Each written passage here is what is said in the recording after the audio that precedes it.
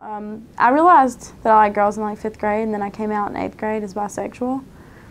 And uh, it wasn't until my senior year when I started identifying as a lesbian, because um, there's very slim options in a small town like that where nobody comes out and you don't know who's gay.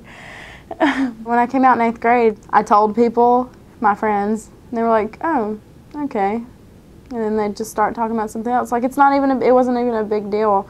And then, but I don't think it actually set in until like I started dating a girl my senior year that like worked at the local hangout and then people saw us together. But people knew, people knew I was gay, so it wasn't a big deal.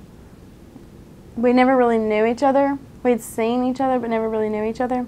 And then me and my friends went to eat at the Mexican restaurant in my town and her friends, her and her friends were there eating too.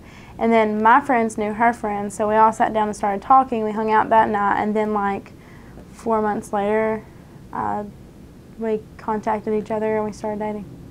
It was December of 2009 when I went to my school board and asked them if I could bring my girlfriend with me to prom, and they told me no. And so what I did was they told me that I could just go with a boy and she could go with a boy and we could meet up and dance together. So I just let it go. And actually, I had no idea that I had a right to do that. So then I went later in 2010 and asked them if I could wear tux, and they said no. Girls have to wear dresses and boys have to wear tuxes. And so at that point, I was just really upset. And I, I thought I wasn't going to get to go to prom because I couldn't go with who I wanted to go with. And I contacted the ACLU, and the ACLU sent a demand letter to my school telling them that they couldn't do that. And then my school responded by canceling prom altogether. And then we went to court. And the court ruled that the school violated my First Amendment rights in three ways by not letting me bring my girlfriend, by not letting me wear tux, and by canceling prom. We actually went to court because we wanted them to make the school put the prom back on, but then they were like, oh, there's this private prom and, and she's allowed to go to it and she can bring her girlfriend, blah, blah, blah. So when I tried to buy my ticket to that prom, they canceled that prom. So then they had two other proms, and one I was allowed to go to, it was at the country club, and the other one I was not allowed to go to, and that's where everyone went. The one I went to was like six people there. When I got there, the, the principal was there, letting people in. There were teachers chaperoning it. So, I mean, if it was going to be a private prom hosted by the parents, I would think parents would be there, not faculty.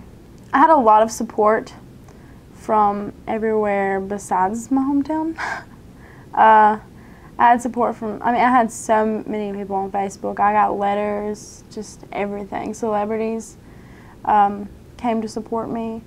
So, but in my hometown, like, everyone was, uh, everyone hated me. I've never really cared what people thought about me.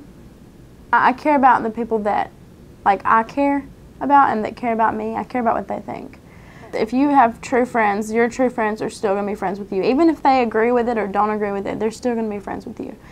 And I think that if more people that are against it would get to know people that are gay, that there would be more tolerance. So I think the more people that come out in small towns like that, there would be more tolerance that came from it because then people would like know those people. And I'm sure people are very un uneducated about that subject in small towns because they don't have a lot of exposure to it. I think that like in the whole picture, it'll work better for, towards tolerance and equality.